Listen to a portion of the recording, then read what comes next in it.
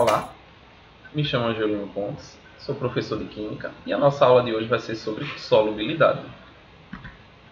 Vamos começar falando né, sobre os tipos de soluções, né? como é que elas se apresentam em relação ao seu estado físico de agregação da matéria.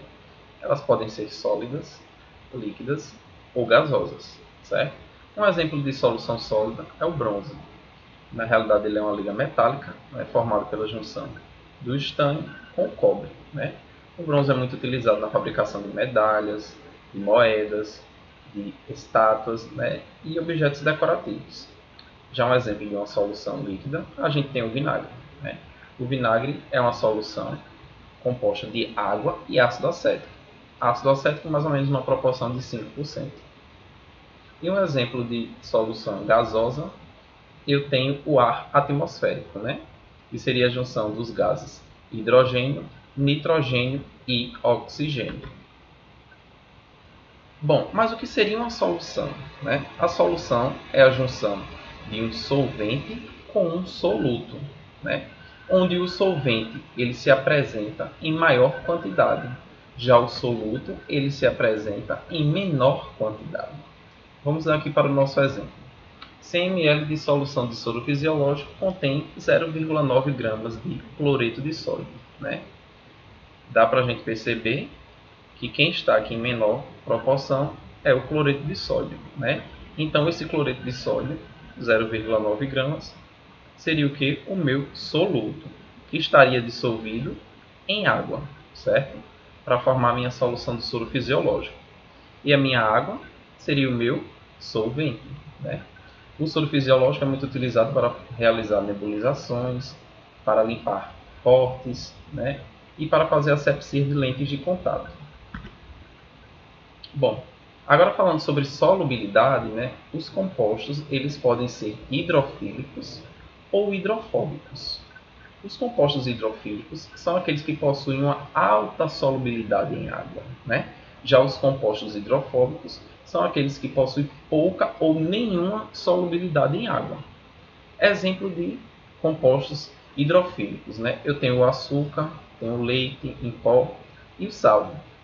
Já exemplo de compostos hidrofóbicos, eu tenho a gasolina, o óleo e a areia, né? Esses três primeiros componentes aqui que eu falei dos hidrofílicos, né, todos são solúveis em água. Já esses três últimos aqui, gasolina, óleo e areia, né, nenhum deles vai ser solubilizado em água. Ao colocar a gasolina, ou o óleo, ou areia em contato com a água, claramente a gente vai ter a distinção de fases. Né? A fase da água e a fase da gasolina, por exemplo. Vamos, vamos fazer uma questão aqui, certo? Para que a gente possa aperfeiçoar o nosso aprendizado. Um produto comercial chamado Escort Garden é utilizado sob a forma de spray em superfícies como as de estofados e tecidos, para torná-las à prova d'água. O princípio de atuação do Scott Garden é que ele torna a superfície. Então vamos lá, vamos prestar atenção no enunciado. Ele está falando que o produto torna a superfície à prova d'água. Né? Então eu não quero que ele tenha afinidade pela água. Né? Consequentemente, eu vou ter o que? Uma superfície hidrofóbica, certo? Então, letra A já estaria cortada, hidrofílica. Letra C também já estaria cortada, hidrofílica. Vamos ler agora a letra B e a letra D. Letra B, hidrofóbica, impedindo que a água seja absorvida por ela. Perfeito. Letra D, hidrofóbica, permitindo que a água seja absorvida. Não, está errado, né? Se ela é hidrofóbica, então ela não vai absorver água. Então a letra D está equivocada. Resposta correta, letra B. Gabarito correto, letra B. Vamos lá. E as soluções, né? Como é que elas podem se apresentar? Elas podem ser insaturadas, elas podem ser saturadas ou podem ser supersaturadas. Quando é que eu tenho uma solução insaturada? quando a quantidade de soluto for menor do que o meu limite de solubilidade. Mas o que é o meu limite de solubilidade? É até quanto eu consigo dissolver o meu soluto em uma solução, certo? Uma solução saturada é quando eu chego no meu limite de solubilidade.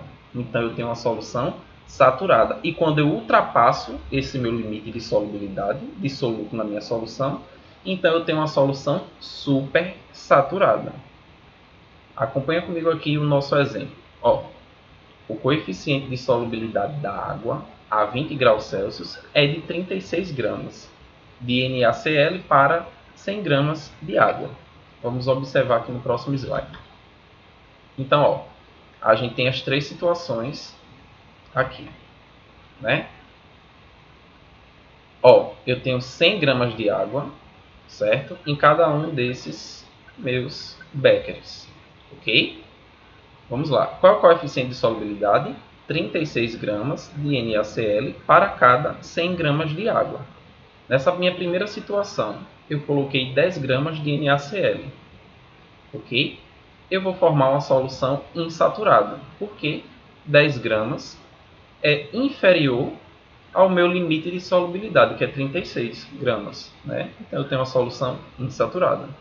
Nessa minha segunda situação, eu coloquei exatamente 36 gramas, que é o meu limite de solubilidade. Logo, eu terei uma solução saturada. E na minha terceira situação, eu coloquei 50 gramas. Né? Lembrando que o meu limite de solubilidade é de 36 gramas.